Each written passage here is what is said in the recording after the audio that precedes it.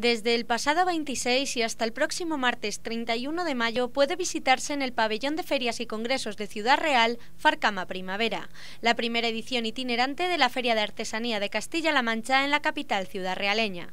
Desde artículos de marroquinería, alfarería, mobiliario, hostelería, hasta gigantes y cabezudos se encuentran expuestos en horario ininterrumpido de 11 a 21 a 30 horas.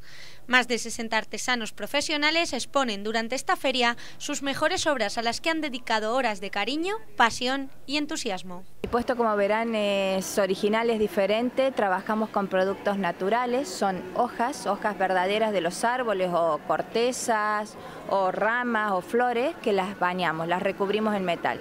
Entonces las puedes encontrar, es pieza única, porque cada una tiene su propio producto en el interior y tienen baño de oro de 24 quilates, baño de plata, de cobre, esmaltes. Tengo cosas de madera, piezas restauradas y objetos con igual que este banco que con una puerta pues hemos hecho un banco siempre buscándole la segunda vida a los objetos que ya no se estaban utilizando eh, sí están hechos primero hay que sacar un hay que modelarlo en arcilla con el tamaño con el tamaño que tiene de la arcilla se le saca un molde y luego ya sobre el molde de escayola se trabaja con, con el cartón están hechos eso básicamente con cartón fallero y con mucho cariño Dicen que para gustos los colores, por lo que los amantes de la artesanía que han decidido visitar el pabellón ciudad realeño no se han quedado indiferentes ante la variedad y calidad de estos productos artesanos. Por el momento estamos echando un vistacillo primero por esta zona. Vamos a la zona gourmet, pero lo que hemos visto hasta ahora es,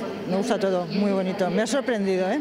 Cosas de artesanía en general, cosas para la casa, para regalos y para, para, vamos, para uso diario. ¿Les gusta esta feria? ¿Cómo está organizada?